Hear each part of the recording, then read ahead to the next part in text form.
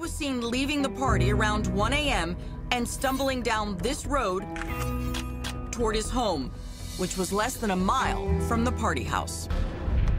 A witness told police they saw him walk past this gas station and general store just several hundred yards from his home around 1.30 a.m. And two cars, one yellow, the other a dark color, had also been seen parked there. 5.30 in the morning, Mr. Cross came out to get his newspaper. And first thing he saw was son, uh, son's shoe in the middle of the road.